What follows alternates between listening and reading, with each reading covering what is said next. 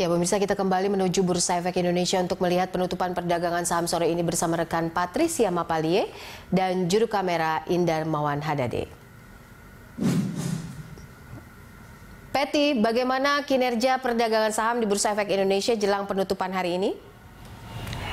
Ya, Popi pasca keluar dari pasar saham tanah air selama 10 hari beruntun, investor asing akhirnya kembali ke pasar saham tanah air kita, di mana investor asing sudah membukukan beli bersih pada perdagangan hari ini senilai 83 miliar rupiah di pasar saham tanah air atau di pasar reguler sampai dengan saat ini. Itulah juga yang membuat indeks harga saham gabungan pada pada hari ini bergerak di zona hijau atau berada di teritori positif.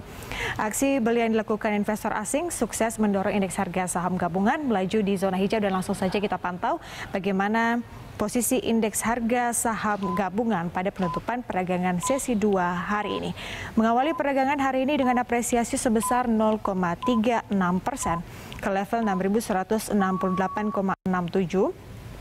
Indeks harga saham gabungan tak pernah sekalipun Popi berada di zona merah atau terus bergerak di teritori positif, di mana per akhir sesi 1 indeks saham acuan Indonesia tersebut menguat 0,71 persen ke level 6.189,91.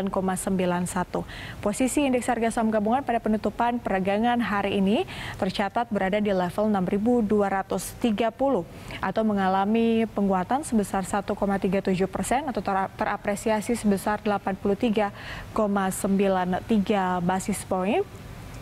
di mana nilai perdagangan sepanjang hari ini sudah mencapai 7,6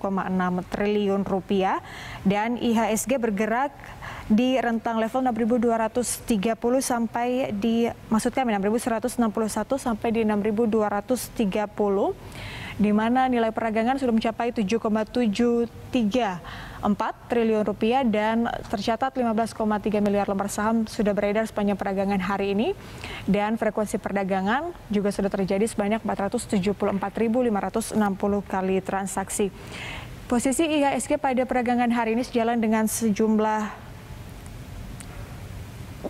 analisa dari sejumlah analis untuk perdagangan hari ini di mana kalau kita melihat Popi dan juga pemirsa untuk sejumlah uh, aksi ini atau aksi yang dilakukan oleh investor asing pada hari ini itulah yang membuat indeks harga saham gabungan kemudian terus bergerak di zona hijau. Meskipun memang aksi jual terus dilakukan investor asing dalam periode 12 September sampai 25 September dan salah satunya seiring dengan ketidakpastian di tanah air pastinya kita tahu bahwa dalam beberapa waktu terakhir gelombang demonstrasi terjadi di berbagai kota di Indonesia terkait dengan beberapa isu. Popi. Ya, lalu sentimen apa yang paling mempengaruhi penutupan IHSG pada sore hari ini, Peti? Ya, investor pastinya melihat bahwa situasi di Indonesia yang sudah mulai uh, bisa dikatakan sudah relatif kondusif begitu sehingga aksi beli pun saya katakan tadi mulai uh, kembali dilakukan oleh investor asing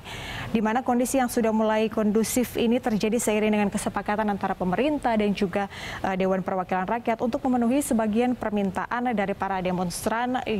yang dilakukan beberapa hari belakangan yaitu dengan membatalkan pengesahan dari RUU KUHP dan juga tiga RUU kontroversial lainnya. Di sisi lain kita melihat juga posisi rupiah meskipun ditransaksikan flat begitu tidak menguat namun setidaknya rupiah tidak melemah seperti yang terjadi dalam tiga hari belakangan di mana dalam periode 23 sampai 25 September rupiah tercatat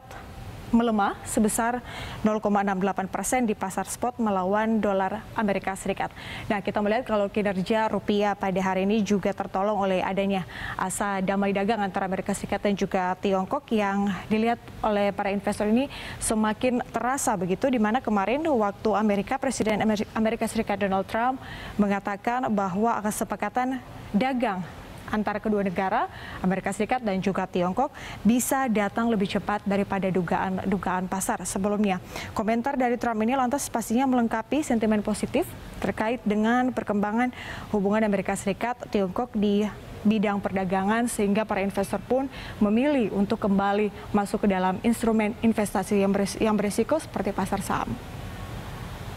Poppy. Ya, lalu saham apa saja yang paling aktif diperdagangkan Peti serta yang paling berkontribusi pada penguatan IHSG?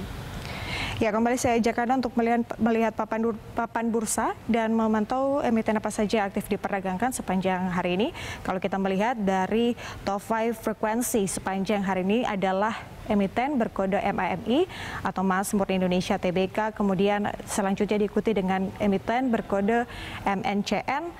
atau PT Media Nusantara Citra TBK, Sementara itu ada ada emiten berkode BAPI atau Bakti Agung Propertindo Tbk. Dilanjutkan dengan emiten berkode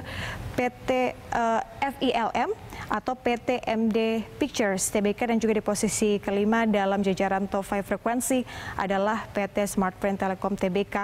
atau uh, kode emiten friend. Sementara kalau kita melihat untuk jajaran uh, sejumlah emiten yang paling aktif diperagangkan pada hari ini oleh emiten-emiten uh, atau investor asing, begitu adalah emiten berkode BBCA atau PT uh, Bank Sentral Asia Tbk di mana Harganya ini dibeli oleh asing sebesar 349 miliar diikuti dengan emiten berkode ASII atau Astra International Tbk yang juga dibeli oleh asing sebesar 78 miliar rupiah diikuti dengan emiten berkode TLKM yang juga ditransaksikan oleh investor asing sebesar 76,1 miliar rupiah. Itulah dia sejumlah saham yang juga mempengaruhi pergerakan indeks harga saham gabungan pada penutupan perdagangan sampai dengan penutupan perdagangan hari ini. Poppy. Ya, Betty terima kasih untuk laporan Anda dari Bursa Efek Indonesia, Jakarta.